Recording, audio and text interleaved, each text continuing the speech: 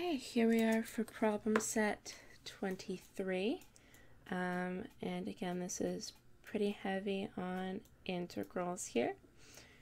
Um, this and the next one, and I think also problem set 25 are all pretty, pretty integral heavy. Um, but yeah, let's go ahead and get started. So for the first one, we want to take the integral of this function on these bounds and uh, using that uh, fundamental theorem of calculus or fundamental property. I always forget exactly what it's called. Um, but when I have one of my bounds um, as a variable, my answer is just that variable plugged into this function, right? So I'm just going to plug in that x wherever I see a t. So it's going to end up being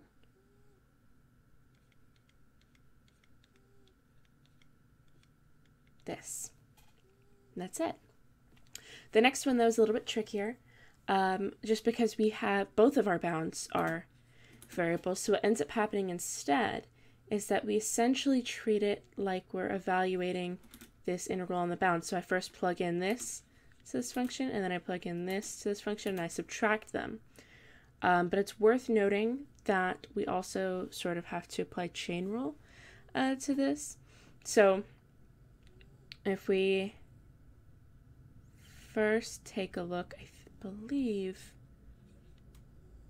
Oh, it is slipping my mind exactly how to go about this one, but I believe we plug in that x to the fourth, so it's going to be 2 plus x to the fourth to the fourth, which is x to the 16th to the 1 half, and then we uh, use that chain rule, so multiply by the derivative of the inside, which is going to be this. And then we subtract by doing the same, subtract the same thing, but with that x squared. So it's going to be 2 plus x squared to the fourth, which is x to the eighth, so one half, and then chain rule, so multiply by that inside. If I'm remembering correctly, we might also have to, uh, I'll have to double check my work for this one actually. Give me just a moment to figure to refresh my memory. It's been um, little little more than half a week, I think, since I did this because this was uh, available on Wednesday and it is now Sunday, so I haven't touched it for about five days. Let's see. Okay. So I did this a little bit wrong. So we're going to backtrack. I found the actual definition written in my notebook, actually. Um, so when we are... Mm. Yes, because this is... I wrote this mistakenly. This isn't the... Um, just the integral. It's... Oh, right, right, right, right. No, so f of x equals this integral. We are finding the derivative of f of x, which is why we can just plug in that x there. That's the fundamental theorem of calculus. This is the same situation for number two. This is f of x. We are finding the derivative of that, um, which ends up canceling out this integral sign, but we still have to evaluate it on these bounds. Um, the reason that we don't care about this 4 is because obviously if we have um, any x value, plugging in constants doesn't really make a difference.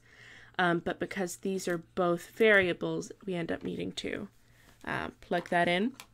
So what uh, it states is that the derivative of an integral with some variable or function on both bounds of some function or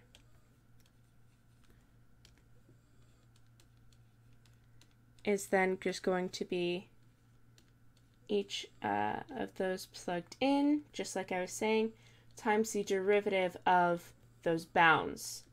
And then do that subtraction. So that was a minor mistake that I made, but that changes it drastically, right? Um, so instead, it's going to be, say we still plug in that x to the fourth, but the derivative that we take for that little bit of chain rule is going to be that of this upper bound. So it's going to be 4x cubed times this plugged into here, which is still this bit. Now minus that lower bound plugged in, so that derivative first is going to be 2x. And then plug it in times. And that's that. Continuing on, this one is just an integral. This one's not taking the derivative of an integral. It's just evaluating this integral. Um, so this is obviously undoing that power rule. So this is what we have here. If I add 1 to that, if I to undo that power rule, I'm going to add 1 to my exponent, which is going to get me this, right? Because negative 5 thirds plus 3 thirds is negative 2 thirds. And then again, we always divide by the new exponent. So it had to be that. So what we've gotten is now whatever this is on these bounds. So now we just have to evaluate uh, those, those bounds there. So plugging in a 13 gets a little ugly. um, well, so it's a negative 2 thirds. So I could also write it like this. Um,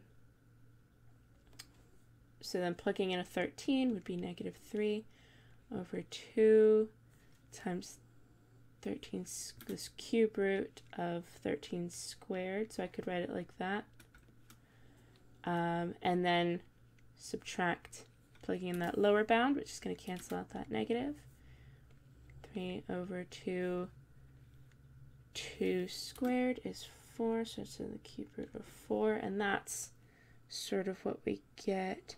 Not sure how to further reduce that right now. There might be a way to, but I won't lie, I'm a little too, little bit too tired to fully process that right now.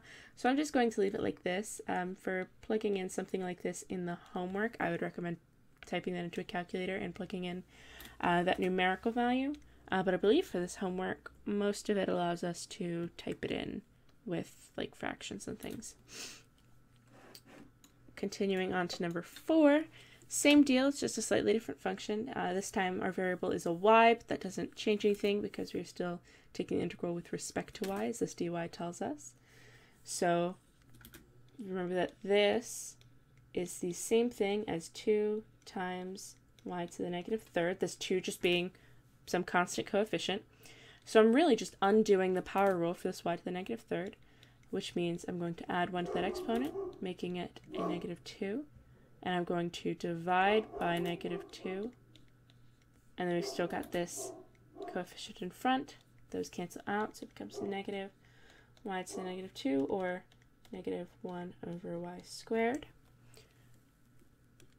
So that is our uh, indefinite integral. Obviously, if we were to just leave it there, we'd want to add that plus c.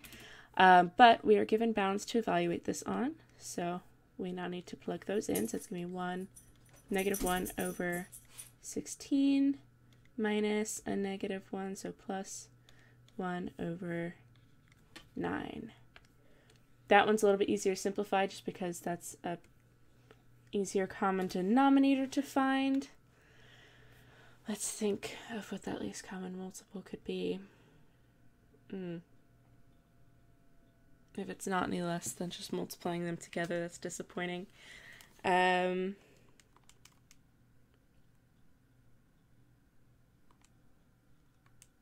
hmm.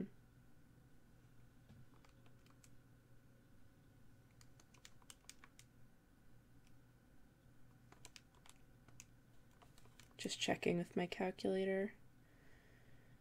Hmm. That's frustrating. Hold on, I want to try. Mm, no, it is just, I was going to say I want to try the cake method, but that requires me to pull out common factors, and I don't see any, which means that we aren't going to get a common denominator short of multiplying them together. So that's going to be a negative 9 144ths plus 16 144ths, or just 7 144ths. Next up, we've got this here. So of course I know that the uh, derivative of e to the x is always e to the x, which means that the integral of e to the x is also going to be e to the power of x. Um, so we know that our integral is just this, but on these bounds. So then plugging those in, I'm going to get e to the power of natural log of 4 minus e to the power of 0.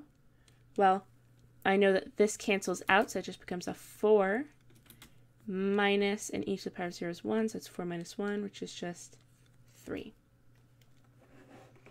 Number 6 is a little bit different. This time we want to come up with an integral um, of this function on these bounds, and then we want to solve it because we've got this equal sign here. So of course we plug in our bounds, we've got negative 2 up to 3. Remember we always want to write it um, from bottom to top, from our lowest number to our highest number, or least to greatest, however you want to think about it. And then we just plug in our function. Don't forget to write which variable this integrals with respect to, which is that what that dx means. Okay, and now we have to solve it. Remember that 3 over x cubed is the same as 3 times x to the negative third. So just like we did up here, we're just going to undo that power. So I'm going to add 1, and then we're going to divide by that power. So that becomes now negative 3 halves x to the power of negative 2, or negative 3 over 2x squared. And again, if we were to just leave this as it was as an indefinite integral, we'd want to put that plus c and we could call it a day. Um, but this is a definite integral with bounds to evaluate it on, so we are going to evaluate it. So plugging in that 3, I'm going to get negative 3 over 2 times 9. And of course, that 3 and that 9 are going to cancel out, so that's going to turn into a 1 and a 3. Okay. Minus now a negative 3, so plus 3 over 2 times negative 2 squared, which negative 2 squared is 4. 2 times 4 is 8. So this turns into negative 1 sixth plus 3 eighths. Let's think of a common denominator. 24 should do.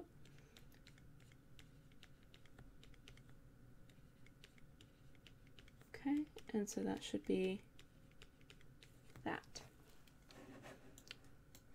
Number seven uh, is another integral for us.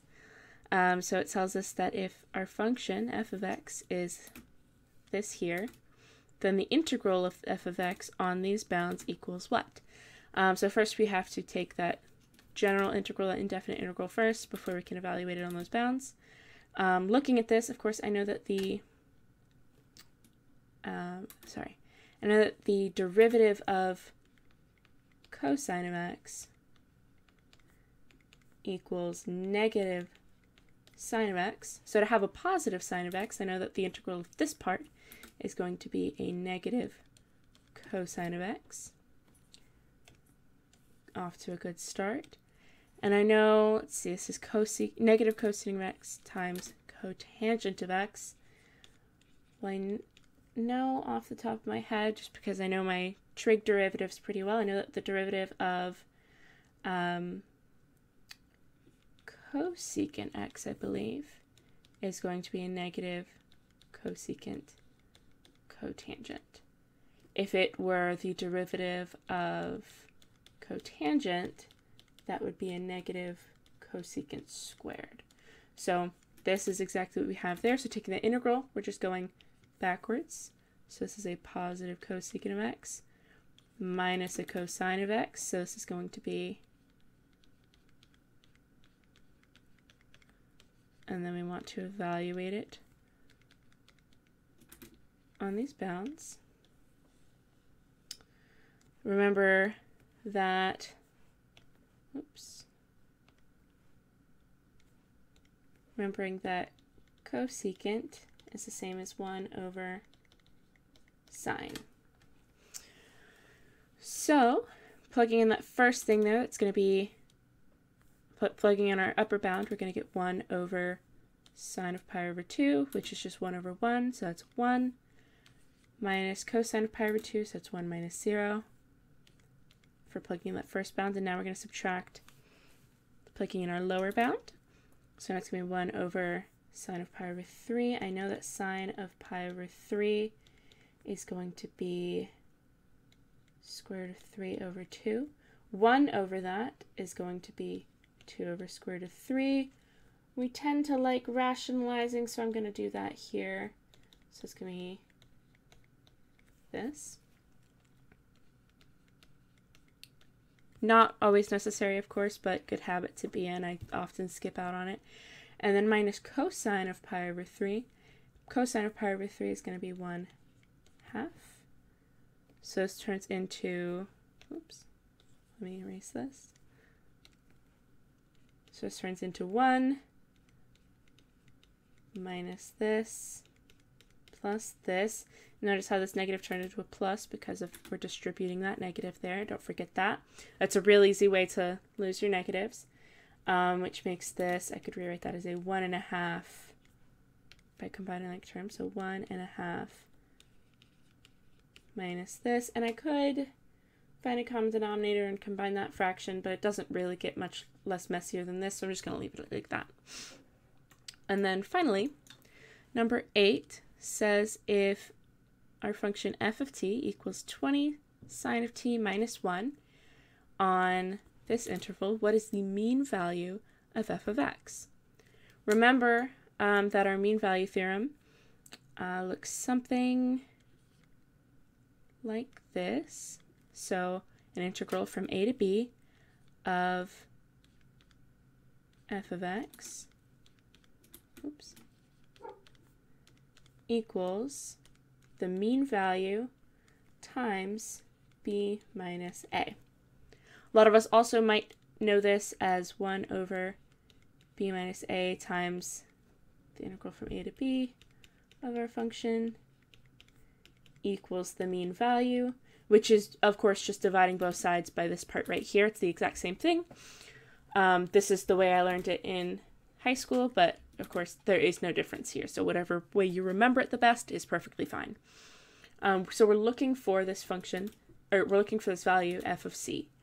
Um, so first, we know that our a is going to be 0, our b is going to be pi, our function we know is this. And then I'm going to go ahead and do this part here. So it's going to be pi minus 0, which is just pi. And all of that is going to equal this one value we're looking for. So I just take that integral and evaluate it, essentially. Um, so I know that the integral of sine of t is going to be negative cosine of c, uh, cosine of t. So it's going to be 1 over pi times, well, it's going to be negative 20 cosine of t, and I know the integral of negative 1 is going to be negative t on these bounds, which is then 1 over pi, plugging in a pi here. I know cosine of pi is negative 1, so negative 1 times negative 20 is just 20. Then it's 20 minus pi. And then subtract by plugging in our lower bounds. I know cosine of 0 is 1. 1 minus negative 20 is negative 20 still. And minus 0. So that gets to be 1 over pi. 20 minus pi minus a negative 20 turns into a plus 20. And that 0 disappears. So uh, this gets to be 1 over pi times 40 minus pi, which is then, if I distribute this here, that gets to be 40 over pi minus 1. Um, and I'm just going to leave it like that. So our mean value, of course, is this here. So f of c, that mean value of the function, is what we just found. 40 over pi minus 1. And that's it. That's all there is for this homework. Um, yeah, a lot of integrals. Um, I know that they can be pretty tricky sometimes, especially the trig ones. They just really rely on you knowing your trig derivatives really well. Um, so I really recommend maybe flashcards for something like that. Um, on top of just a lot of practice, really, because I only know them as well as I do because I've done a lot of practice with them. Um, but yeah, so this problem set is all done. I hope that all of this made sense, and thank you for watching.